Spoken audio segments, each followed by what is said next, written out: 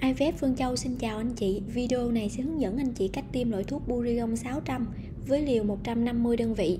Thì với liều 150, ống thuốc này anh chị sẽ tiêm được 4 lần. Bước số 1, anh chị sẽ kiểm tra thuốc với to thuốc, xem có đúng tên thuốc hay không. Cái thứ hai là có đúng liều 150 đơn vị hay không. Và cuối cùng là ngày tiêm của anh chị có đúng hay không và khi khui hộp thuốc thì anh chị nhìn lại lần cuối cùng xem tên trên hộp thuốc có đúng là Burigon 600 hay không. Kế tiếp sẽ xem hạn sử dụng của hộp thuốc có còn hay không. Đối với ống thuốc, anh chị sẽ kiểm tra chất thuốc bên trong có thay đổi hay không. Ống thuốc bình thường thì sẽ là màu trắng trong. Đối với ống thuốc bị hư thì cái màu của thuốc nó sẽ bị đổi màu và nó bị vón cục lại. Sau các bước kiểm tra thuốc thì anh chị cần rửa sạch tay với dung dịch sát khuẩn có chứa cồn hoặc là xà phòng trước khi thực hiện bước lắp thuốc và chỉnh liều. Khi anh chị sẽ vặn đôi bút tim ra và cầm ống thuốc lên sẽ hướng cái đầu có thuốc xuống dưới để thực hiện lắp ống thuốc vào bút tim. Ở bước vặn bút tim lại thì anh chị chú ý là vặn thật chặt Bước 2 thì anh chị sẽ chỉnh liều thuốc. Cách chỉnh liều như sau, anh chị sẽ xoay núm chỉnh liều cho đến khi cửa sổ chỉnh liều xuất hiện số 150 thì dừng lại.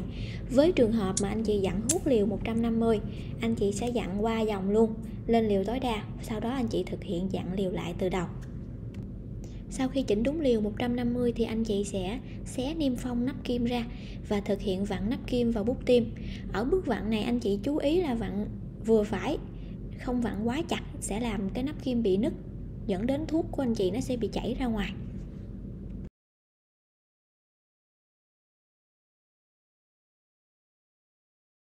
Khi đã lắp xong đầu kim thì anh chị sẽ xác định vị trí tim.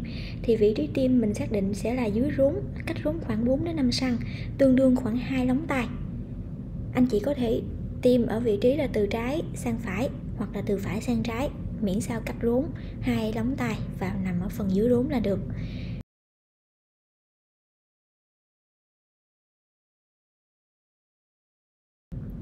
Kế tiếp thì anh chị sẽ thực hiện rửa tay lại với dung dịch sát khuẩn chứa cồn hoặc là xà phòng trước khi mà mình thực hiện sát khuẩn vùng tim.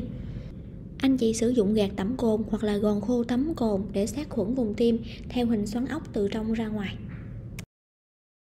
Trước khi thực hiện tiêm thuốc thì anh chị sẽ kiểm tra lại một lần nữa cửa sổ chỉnh liều có hiện đúng 150 đơn vị hay không. Sau đó anh chị sẽ rút hết toàn bộ nắp kim ra và thực hiện véo da bụng lên, ghim kim nhanh một góc 45 đến 90 độ. Một tay thì anh chị sẽ cố định bút tim, tay còn lại thì anh chị sẽ ấn đè nút chỉnh liều để bơm thuốc thì khi bơm thuốc cửa sổ chỉnh liều từ 150 nó sẽ lùi dần dần về tới số 0 là anh chị đã tiêm hết liều, ngày hôm nay được chỉ định. Sau khi anh chị tiêm xong thì anh chị sẽ tháo đầu kim ra bỏ, bảo quản ống thuốc lại vào ngăn mát tủ lạnh để hôm sau tiêm tiếp. Đến cái liều cuối cùng của ống thuốc thì anh chị sẽ thấy còn một lượng thuốc đệm dư lại, anh chị sẽ không được tiêm cái lượng thuốc đệm này sau khi tiêm thuốc thì anh chị cần phải theo dõi các biểu hiện như sau. Các biểu hiện bình thường là tràn bụng dưới, căng ngực, đau lưng và dịch âm đạo ra nhiều.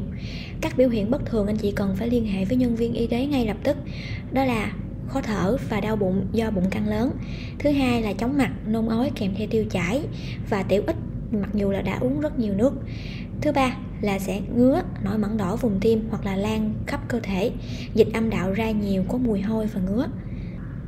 IVF Phương Châu xin cảm ơn.